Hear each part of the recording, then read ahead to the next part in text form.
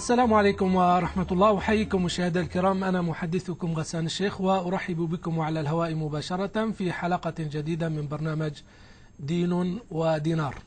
في هذه الحلقة سوف نتحدث عن صيغة من صيغ التمويل. تكاد تكون الأهم في الهندسة المالية الإسلامية أو في صيغ التمويل الإسلامي. فمشروع أبراج البيت بيت الله الحرام أو ما يعرف بوقف الملك عبد العزيز للحرمين الشريفين بمكة المكرمة. هذا المشروع الضخم. تقريبا 1.5 مليون متر مربع كان تمويله أو سيكون. والأعمال الآن بدأت تعمل بتطبيق عن طريق تطبيق عقد الإيجار الموصوفة بذمة. وكان المسؤول عن عملية التطبيق والتطوير ضيفنا الليلة. الدكتور إبراهيم ابن فهد الغفيلي المؤسس والرئيس التنفيذي لمركز الريادة للاستشارات الاقتصادية في الرياض. كما أن الدكتور الغفيلي شريك مؤسس وعضو مجلس إدارة شركة جوار لتطوير وتسويق العقار والتي قامت بتسويق وقف الملك عبد العزيز في مكة المكرمة وتمتد خبرة ضيفنا لأكثر من ثمانية عشر عاما.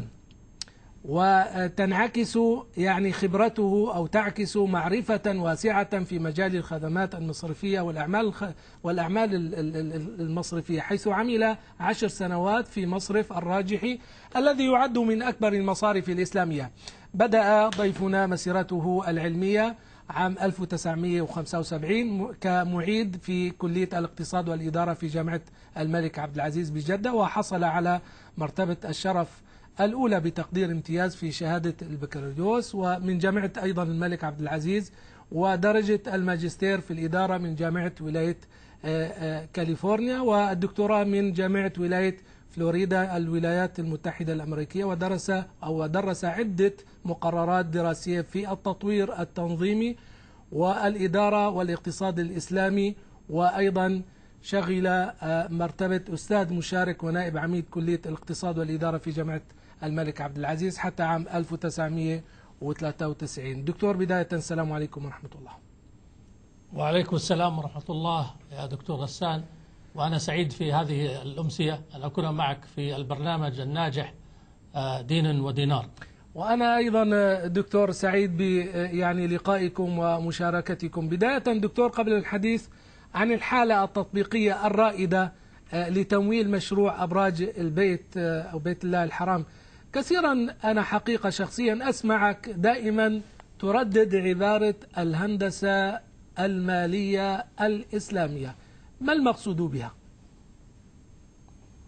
في بداية إذا سمحت لي دكتور غسان أن أعطي فكرة أن كلمة المصرف هذه اختراع وابتكار أوروبي غربي بمعنى الطاولة حيث أنكم تعلمون أن المصرف كوظيفة بدأت في مدينة البندقية منذ أكثر من 500 عاما وبدأت من خلال الصرافين الذين كانوا يصرفون هذه العملات على ما يسمى الطاولة المستديرة البانكو وهو فيما بعد عرف البنك. وتطورت عمليات هذه الصيرفة حتى أصبحت الآن المصارف الغربية. وكما تعلمون أن قبل أربعين عاما بدأ رواد فكر المصارف الإسلامية وقيادات من رجال المال والأعمال في العالم العربي. وعلى ما أتذكر أن كانت البداية لدى الشيخ سعيد لوتا في دبي عندما صحيح. أسس أول مصرف إسلامي في دبي مصرف دبي الإسلامي ثم تلا ذلك الدكتور أحمد علي ومن معه عندما أسست المملكة العربية السعودية ومجموعة الدول في منظمة المؤتمر الإسلامي بنك التنمية الإسلامي وانطلقت هذه المصارف في تطوير بنيتها التنظيمية وتطوير هيكلها المالي ولكن استعارت النموذج الغربي. النموذج الغربي الذي يقوم على مبدأ الإقراض الدائن والمدين. وبمعنى أن إيرادات البنك تتحقق من خلال الفرق بين الفائدة الدائنة مطروحة منها الفائدة المدينة حيث أن دور المصارف هو دور مهم وخطير نعم. وهام بتجميع الموارد المالية من ودائع الأفراد والشركات وإعادة توظيفها في ضخها في الاقتصاد.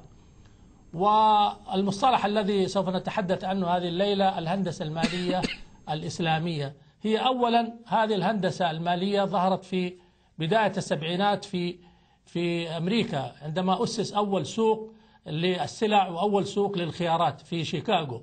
وهذا هو ما يتعلق بالمعاملات المستقبلية حيث أن يعتبر هذه المعاملات المستقبلية ظهرت آه في من ذلك الزمن والخيارات البيع والشراء والعقود المستقبلية نعم. وهي هجين من مجموعة من العقود وكلها تعتمد على الفائدة وتعتمد على المضاربة وتعتمد على الغرر آه، وغير ذلك لكن أنا أريد أن. أتجاوز هذا الموضوع دكتور حتى أصل إلى الهندسة المالية الإسلامية الذي يعني تردده حضرتك دائما في لقاءاتك وفي يعني ندواتك نعم. ومحاضرتك نعم لأنه كما نعلم وكما تعلم دكتور غسان أنه دور المصرف الإسلامي ليس دوره هو المقرض صحيح. وإنما هو دور الذي يسعى إلى توظيف هذه ال- الودائع في خدمة الاقتصاد وهذا يتطلب أن أن يكون هناك دائما مع الهيئات الشرعية ما يسمى المهندسين الماليين المهندس المالي هو الإسلامي هو الذي ينظر إلى المشروع وينظر إليه من حيث الأطراف المنتفعة. في أي مشروع تجد ما يسمى باللغة الإنجليزية في الإدارة المالية ستيك هولدرز أي الأطراف المنتفعة. بمعنى إذا فرضنا أخذنا مشروعا في التطوير العقاري وهو مثلا المطور الذي يأخذ الأرض إما شراء أو استئجارا ويضع ال- ال- ال- التصاميم الهندسية ثم يب- يبحث عن إما مشترين لهذه الأعيان أو أنهم منتفعين بها سواء من المضاربين بفوائض أموالهم أو من المتاجرين في في في منتجات آه، هذا المشروع. وكذلك حتى نصل إلى المنتفع النهائي. فالهندسة المالية الإسلامية هو البحث عن العقود التي كانت مطبقة في الفقه الإسلامي لأن الفقه الإسلامي فقه آه، ثري ويوجد فيه من العقود التي تتعامل مع المستقبل مثل ما ذكرت آه، قبل قليل وهو عقد الإجارة الموصوف بالذمة وصفا يمنع الجهالة وعقد السلم وعقد الاستصناع. وهذه العقود هي تتعامل مع المستقبل ويبحث المهندس المالي الإسلامي كيف يوطن هذه العقود لخدمة الاحتياجات الح- الحالية إما بناء آه، ما يسمى التطوير العقاري أو بناء آه، المطارات أو بناء المستشفيات أو الجامعات أو المدارس أو الطرق أو محطات الكهرباء والمياه وغيرها من بنى تحتية يحتاج إليها الاقتصاد. فينظر المهندس المالي من الناحية هذه ما هو العقد الملائم الذي يمكن أن يطبق بحيث أن يقوم المصرف الإسلامي بدور الوسيط المالي بين المطور وبين راعي هذا المشروع وبين ال- الراغبين إما بالمضاربة برؤوس أموالهم أو الودائع التي ممكن توظيفها في في في تمويل آه، هذا المشروع. ولكل عقد شروط شرعية وضوابط حتى يتم تطبيقه. يعني آه، دكتور يعني هل ترغب يعني حضرتكم إنه بدل أن نسميه عالم في الدين نسميه هندسة في الم- مهندس في ال- ال- ال- ال- الماليه الاسلاميه يعني آه، ال- يعني بدلا من أن يقول أن هذا عالم في فقه المعاملات المالية أو أستاذ في فقه المعاملات المالية نطلق هذا المصطلح مهندس في المالية لا الإسلامية؟ لأنه ها لأنه لأنه هذا المصطلح يا دكتور غسان أصلا ظهر في ال- في في أمريكا. تعرف الأمريكان دائما يحبون ما يسمى المصطلحات لأنه هو هو ترجمة ل reengineering يعني دائما ظهرت في ال organization وظهرت في ال- البنوك. فهو هندسة ال- هندسة الإجراءات أو هندسة العقود من آه، من التي تفي في دور التمويل وتحل وتربط العلاقة بين المصرف الإسلامي وبين ال- ال- المتمول صاحب المشروع. حقيقة وهو- يعني وهو دكتور ترى مصطلح حلو يعني حتى نكون يعني مصطلح المهندس في المالية الإسلامية. والله يعني جميل. صحيح. وهذا يعني لا وبعدين نعم. وبعدين كذلك وظيفة مهمة لأن المشايخ حفظهم الله لا يعرفون بالضبط ما- هي احتياجات هذا المشروع. لكن عندما يعرف ال- المهندس وهو يكون خبير مثلا اقتصادي وخبير في في تخطيط إدارة المشاريع وفي إدارة التمويل وفي ما يسمى بالبزنس موديل بمعنى يتعمق في فهم النموذج الأعمال الذي يقوم عليه. وهذا هندسة المالية تساعد على ربط ما يسمى التمويل بالأهداف. بمعنى أن لكل تمويل هدف. بمعنى لا يفصل كما هو الحال في الحيل الشرعية. يعني الآن الذي صار في المصارف الإسلامية كثير من القيادات هداهم الله وكثير من الممارسات لأن هذه المصارف الإسلامية أصلا الذي قادوها هم ناس تقليديين. يعني فقط يحاول أن يستخدم أداة التمويل بين الدائن والمدين ويديرها. فإذا مثلا كان هناك تطبق المرابحة قلبها إلى دين. هنا في الهندسة المالية الإسلامية لا يحدث هذا الشيء وإنما يكون التمويل مع الهدف مترابطان حتى يتم إنتاج السلعة أو إنتاج المنفعة. طيب. وهذا من عظمة الهندسة المالية إذا ربطت بعظمة العقود الشرعية في المعاملات المستقبلية. هذا أمر يعني حقيقة كلام جميل وأنا يعني أود أن أسأل مدى وجود هذا العلم اليوم في جامعاتنا ولا سيما مع اتساع وانتشار الكبير للمصارف الإسلامية سواء في الدول العربية والإسلامية أو حتى في دول العالم. مصطلح جميل حقيقة أن يكون هنالك مقرر اسمه الهندسة المالية الإسلامية. متى مدى وجود هذا العلم اليوم في جامعاتنا دكتور؟ هل هي مؤهلة اليوم لخدمة الصيرفة الإسلامية الذي هو ربما أهم مفرزات الاقتصاد الإسلامي في أيامنا المعاصرة؟ هذا المصطلح للأسف لم ينتشر بين هيئات التدريس في الجامعات سواء في المملكة أو في في في العالم العربي. وإنما أصبح منتشرا الآن في أمريكا وفي بعض الجامعات الأوروبية كما يسمى يطلق عليه financial re-engineering. يعني الهندسة المالية طبعا بدون إسلامية ولكن بعض الباحثين وبعض المجتهدين الذين يرغبون الاستفادة مما وصل إليه الغرب لأنه حتى الغرب عندما وصل إلى هذه المصطلحات للأسف لم لم يطورها تطويرا إيجابيا وإنما بناها على على على منتجات هلامية أنا أوصفها كأنها بالجلي. الجلي من شكله جميل ولونه جميل وخاصة إذا كان هو يعني تو خارج من الثلاجة يأكله الإنسان. ولكن عندما هذا الجلي يترك للحرارة سرعان ما يذوب. وهذه هي الهندسة المالية الغربية للأسف. بنت إهرامات من العقود الهلامية الهجينية الجيلاتينية فوقها فوق بعض.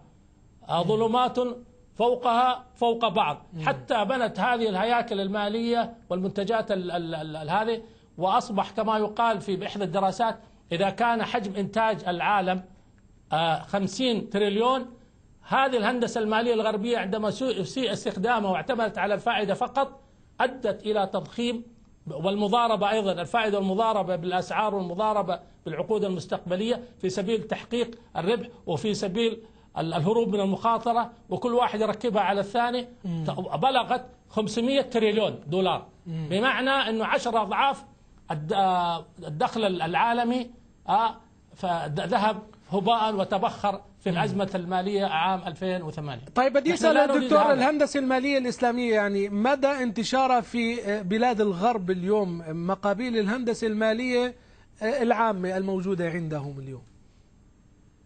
طبعا الغرب أنا من خلال احتكاكي ليسوا صادقين في في الحصول على على المصرفية الإسلامية بجوهرها. هم يبحثون عن الموارد المالية عن فوائد الدول هذه دول الخليج والأسر الغنية شايف؟ كما حدث في عملية الصكوك والتصكيك في في دبي وفي بعض وفي قطر وفي البحرين إنها وضعت صكوك في الواقع هي من حيث الهيكلة الخارجية صكوك إسلامية لكن عندما تبحث وتتعمق في داخلها هي عقود ديون ربوية ولا تحمل من الإسلام إلا اسمه.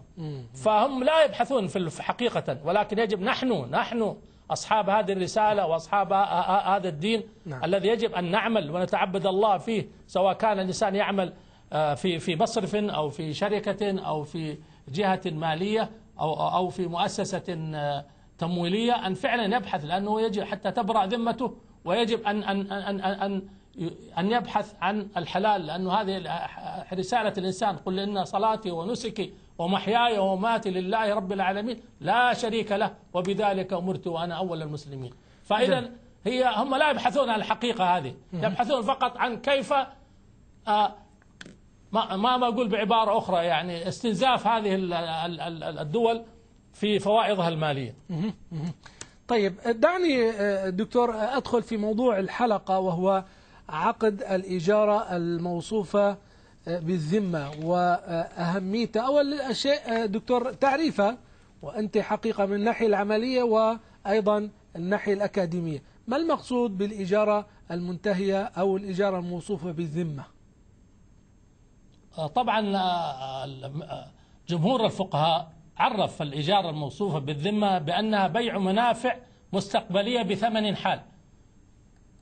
أو هي سلم في المنافع. أو هي إجارة في الذمة لأن المنفعة المستوفاة متعلقة بذمة المؤجر وليست متعينة. وهذا عظمة الإسلام. يعني أنا حتى بدأت أنا أفكر بيني وبين نفسي. يعني الآن سبحان الله عندما عندما تتعاقد على منفعة في المستقبل يجب أن تعجل الأجرة. لكن عندما تتعاقد مع منفعة حالية ممكن أن تقسط الأجرة وممكن تدفعها في نهاية. ولكن جزء من الشروط وسلامة هذا العقد في المنفعة الموصوفة في الذمة وطبعا وضعوا له الفقهاء وضوابط وهو وصفا يمنع الجهالة. يعني بمعنى العين التي سوف يتم تأجير منفعتها يجب أن تكون موصوفة كأنها في في في عالم الحال. وأيضا لا يكون فيها غررا لا من حيث الحجم والمساحة أنا أريد أن أقف دكتور مرة أخرى عند تعريف الإجارة آه، الموصوفة بالذمة. نعم. هي بيع منافع مستقبلية بثمن حال. آه، لو نعم. يعني آه، بسطنا هذا التعريف. بيع منافع ما المقصود بالمنافع؟ وإيش مستقبلية؟ وشو معنى يعني بثمن حال؟ يعني مثلا المنافع مثلا السكن. السكن هذا إذا كان هو موجودا كعين حالة فهذا يعتبر عقد آه، إيجار لمنفعة حالة يعني معينة في ذاتها الآن حالة في هذا الزمن. ولكن إذا كان المسكن لم يوجد بعد وإنما سوف ينشأ بعد سنة أو سنتين فهنا عظمة الشريعة الإسلامية التي تسهل المعاملات حتى المستقبلية. وهذه أيضا عظمة الشريعة الإسلامية تصور هذا هذه العلوم الفقهية لها قبل ألف عام أو أكثر كانوا يفكرون في في شيء يسهل أمور الناس في التعامل. وهذا أيضا يشجع على التعاون وعلى الثقة بين أفراد المجتمع وعلى تحقيق التكامل. وعلى أيضا البحث عن إيجاد السلع والخدمات التي لم توجد بعد. فإذا هذا المسكن الذي لا, لا لم يوجد الآن جائز إذا كان آه، آه، الشروط شروط عدم الجهالة وعدم الغرر توفرت يعني فيه. مثال ف... مبسط دكتور حتى يكون الأمر واضح للسادة المشاهدين. يعني, يعني مثال سلمك الله. تفضل. لو كان عند نعم. يعني المثال لو فرضنا أنه عندنا مقاول أو مطور أراد أن ينشئ مجموعات آه، من المساكن سواء كانت شققا آه، أو دورا فللا. فهو إذا توجد الآن وهذه أيضا عظمة الهندسة الحالية ما يسمى الخرائط الهندسية وما يسمى 3 دايمنشن يعني الأبعاد الثلاثة أنه الإنسان يعرف مساحة الأرض ومساحة البناء والدور الأرضي والدور العلوي وكم عدد الغرف ومساحة الغرفة ومواصفات التنفيذ وغيرها بمعنى أنها توصف للمستأجر الذي يستأجر هذه العين أو الذي يشتريها مستقبلا وصفا يمنع الجهالة وأيضا يمنع الغرر سواء من حيث آه، المواصفات أو أو من حيث الثمن أن يكون معلوما ومعروفا وأيضا أن يكون يدفع في في في بداية العقد. دكتور كما تعلم أنه يعني الإجارة الموصوفة بالذمة آه، آه، يعني هي جائزة سنشوف مدى مشروعيتها لكن الآن خطر في بالي حقيقة عندما يعني بحثت هذا الموضوع وجدت أنه بيت التمويل الكويتي ذهب إلى عدم الجواز وقال السبب أنه لا يمكن ضبط هذه المنفعة المستقبلية لا سيما أنه الأعيان إلى الآن غير موجودة. طبعا هيئة المحاسبة والمراجعة وذهبت إلى الجواز وهو قول جمهور العلماء. ما رأيكم دكتور حول هذا الموضوع؟ أنا أعتقد أنه في هذا الزمن ومع تطور علوم الهندسة وعلوم المساحة وعلوم التخيل الهندسي يعني تجد الآن في دبي مثلا الأبراج هذه الرهيبة وكذلك في مشروع وقف الملك عبد العزيز عندما عندما وضع المهندسين الخرائط التفصيلية والدقيقة من حيث المساحة والارتفاعات والمواصفات الإنشائية ومواصفات التشطيب والناحية الكهربائية والمصاعد والعدد والهذا. وحتى أيضا ممكن أن تتجول في الكمبيوتر داخل هذه الوحدة صحيح. السكنية شقة أو فلة كأنك تراها رؤيا العين. فأنا أعتقد إن كان في الزمن الماضي قبل ألف عام أجازوها مشايخنا وعلماءنا الأفاضل فمن باب أولى أن تجوز لأنها فيها منافع كبيرة تتحقق لتدوير هذا المال. لأنه, لأنه هنا يا دكتور غسان الثمن معجلا وهذا صحيح. يساهم في التمويل مم. تمويل المطور وهذا يخرج يعني المصارف الإسلامية من عنق الزجاجة وهو تحويل التمويل إلى عملية دين وقرض ومدين.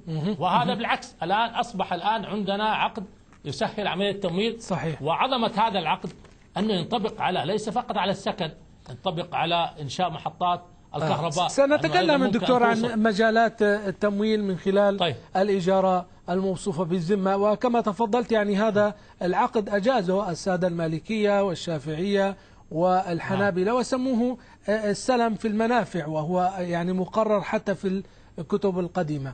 أتوقف حتى أيضا دكتور غسان أنا قرأت نعم. أنه أنا لست فقيها ولكني أقول حتى الأحناف مهندسا ماليا. لكن لكن الأحناف أجازوه واشترطوا التعجيل في الثمن. أما بقية المذاهب قالوا ممكن أن أن أن يقسط الأجرة تقسط. أما الأحناف أجازوه ولكن اشترطوا لتعجيل الثمن. الثمن مثل بيع السلم. إي نعم إي نعم. مشاهدي الكرام نتوقف مع فاصل ومن ثم نواصل. كونوا معنا.